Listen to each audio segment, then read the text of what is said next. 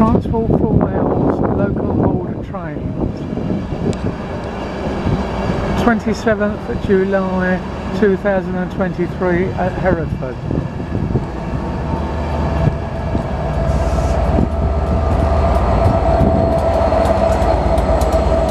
Sixty-seven oh oh eight.